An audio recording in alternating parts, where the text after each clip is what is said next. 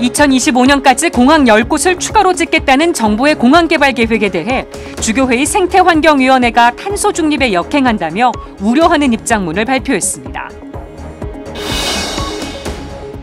코로나19 시기를 보내면서 레지오 마리의 단원이 20%에서 40% 가까이 감소한 것으로 파악됐습니다. 코로나19 전과 후 레지오 마리의 단원 증감 현황을 취재했습니다. CPBC TV 프로그램 이야기 공간 아시씨가 인기에 힘입어 정규 편성됐습니다. 진행자인 김재동 프란치스코 씨를 만나봤습니다.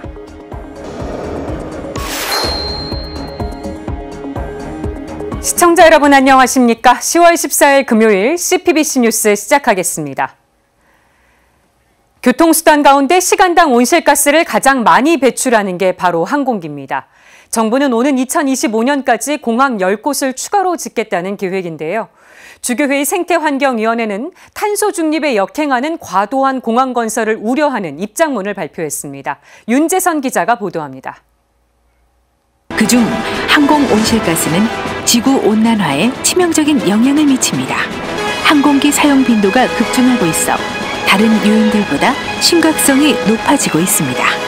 국토교통부가 지난 2016년 제작한 항공기 온실가스 감축을 위한 홍보 영상입니다. 그로부터 5년이 흐른 지난해 9월 국토부는 제6차 공항개발 종합계획을 확정 고시했습니다. 오는 2025년까지 공항 10곳을 추가로 건설하는 게 골자입니다. 이렇게 되면 기존 공항을 포함해 국내 공항이 25곳으로 늘어납니다. 2020년 코로나 여파로 공항 14곳 모두가 적자에 허덕이는 상황. 정부가 쏟아부은 공적 자금만 8조 원에 이릅니다. 온실가스 감축을 위해 자국에서 세 번째로 큰 공항을 폐쇄하기로 결정한 스웨덴. 열차로 2시간 30분 안에 이동할 수 있는 거리에 대해 국내선 항공 운항을 금지하는 법안을 통과시킨 프랑스와는 너무나 대조적입니다. 주교회의 생태환경위원회 위원장 박현동 아빠스는 입장문을 내고 기후위기에 선제적으로 대응하겠다며 2050년 탄소 중립을 선언한 정부가 형식적인 움직임을 보이고 있다고 지적했습니다. 특히 현재 추진되고 있는 새만금 신공항 건설로 인해 막대한 양의 온실가스 배출이 예상되고 나아가 갯벌과 산림 등 온실가스 흡수원을 없애버리는 이중의 악영향을 불러일으킨다고 우려했습니다. 또한 한쪽에서는 막대한 예산을 들여 갯벌 생태계 복원과 보존을 강조하면서 이를 파괴하는 신공항을 짓는 모순을 자처하고 있다고 비판했습니다. 제주도 제2공항 건설과 관련해선 주민 투표를 통해 주민들이 반대하는 일임을 상기시켰습니다.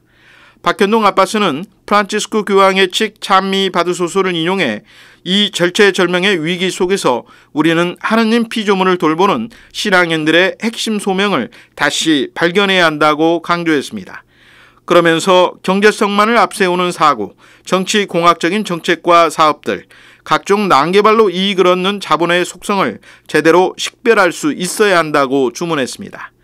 정부를 향해선 불필요하고 중복된 공항 건설과 같은 생태 파괴 행위를 이제라도 멈추고 생명을 선택해야 한다고 촉구했습니다.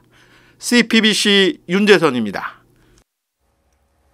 10월은 묵주기도 성월입니다. 그런데 묵주기도를 많이 바치는 레지오 마리애 단원들이 코로나19 시기를 거치면서 적지 않게 감소한 것으로 파악됐습니다. 김현정 기자가 취재했습니다. 성모님의 군대라고 일컫는 레지오 마리애 내년이면 한국교회의 레지오 마리애 도입 70주년을 맞습니다. 그런데 지난 2년 동안 레지오 마리애는 코로나19보다 더한 몸살을 앓았습니다. 코로나19 이전인 2019년 8월부터 2022년 8월까지 서울과 광주, 대구 세나투스 소속의 레지오 마리의 단원 증감 현황을 비교한 결과 전반적으로 단원이 20에서 30% 정도 줄었습니다.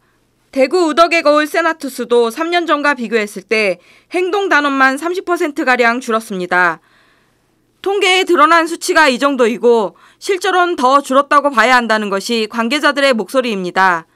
성당 대면 미사와 소공동체 활동이 정상화된 지금도 레지오 마리애의 대면 주회합과 활동은 좀처럼 완전히 정상화되지 않고 있는 점도 문제입니다. 제대로 네. 지금 어, 주회합에 출석하는 단원이 사실 중요할 것 같아서 예. 아마 그 현황으로 보면은 한 40% 정도 레지오 마리애 간부들은 팬데믹을 겪으면서 점점 줄어가는 단원과 프레시디움, 꾸리아를 보며 마음고생이 심했습니다.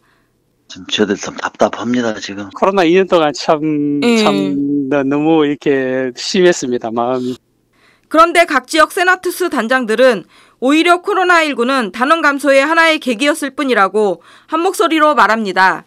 처음에는 이렇게 누구 소개를 입단해가지고 하다 보니까 자꾸 이렇게 나와 매주 갖는 것이 상당히 그 뭐랄까 정착하지 못한 사람들한테는 그게 자기들 부담이 됐을 거예요. 하기 싫었죠. 울고 싶은데 코로나가 와서 빰을 하면 다 때려져 버렸죠. 그럼에도 어려운 시기를 지나 재정비를 마친 단원들도 있습니다. 대부분 묵주기도의 은총, 성모님의 은총을 체험한 경험을 잊지 않은 단원들입니다. 2023년 5월 31일이 우리 한국의 내주 도입된 이제 70주년이 되는 해다 그 말이죠. 네. 그래서 그걸 이제 계기로 해서 저희들이 지금 70주년 기념 미사를 하면서 네. 또이 특혜적인 단원들을 또 한번 전부 손에 손잡고 한번 부활의 짓을 한번 해보려고 지금 준비하고 추진하고 있고 그러네요. 이렇게 코로나로서 좀 해이해졌던 것들을 좀 더 다독이고 이렇게 좀 나가려고 뭐 준비를 하면서 아, 어쨌거나 이제 묵주기도 성호를 맞이해서 이제 뭐 많은 단원들이 묵주기도 열심히 하면서 좀 더 레지오를 정상화시키는 CPBC 김현정입니다. 올 한해 산불부터 폭우, 태풍까지 자연재해로 많은 이재민이 발생했습니다. 정부는 피해 지역을 특별재난지역으로 선포하고 피해 복구 등을 지원했는데요. 그런데 지원 내역을 살펴보니 이재민 지원보다는 공공시설 복구 지원이 많았습니다. 김정아 기자의 보도입니다. 우리나라에선 매년 집중호우와 태풍, 산불과 대설 등으로 인한 인명과 재산 피해가 발생합니다. 2011년부터 2020년까지 지난 10년간 자연재난 발생 현황 통계에 따르면 연평균 인명피해는 29명, 재산 피해는 4,419억 원에 달합니다. 이렇게 대형 산불과 태풍, 지진, 집중호우 등으로 피해를 본 지역은 대통령이 긴급 복구 지원을 위해 특별 재난 지역으로 선포합니다. 하지만 특별 재난 지역에 지원된 10년간의 국비 지원 내역을 전수조사한 결과 이재민 지원은 턱없이 부족했던 것으로 나타났습니다. 국민의힘 조은 의원이 행정안전부로부터 제출받은 자료에 따르면 2012년부터 지난해까지 특별 재난 지역으로 선포된 지역은 모두 193곳입니다. 지난 10년간 이 지역엔 3조 원이 넘는 국비가 지원됐는데 이 중 이재민 생계지원금은 약 646억 원, 주택복구비는 715억 원이 지급됐습니다. 정작 이재민에게 지급된 금액은 전체 금액의 약 4.5%에 불과했던 겁니다. 생계지원금을 받은 대상이 약 6만 세대라는 점을 고려했을 때 한 가구당 약 100만 원 상당의 지원금을 받았습니다. 또 주택복구비 역시 생계 지원을 받은 가구 수를 기준으로 추산해 보면 한 가구당 100만 원이 조금 넘는 지원금을 받았다는 걸 알 수 있습니다. 삶의 터전을 잃어버린 이재민들이 지원받은 금액은 대략 200만 원 정도에 불과했습니다. 단돈 200만 원으로 사라져버린 삶의 터전을 복구하기엔 턱없이 부족합니다. 특별 재난 지역에 지원됐던 국비는 대부분 피해 공공시설을 복구하거나 새로 짓는 데 사용된 것으로 확인됐습니다.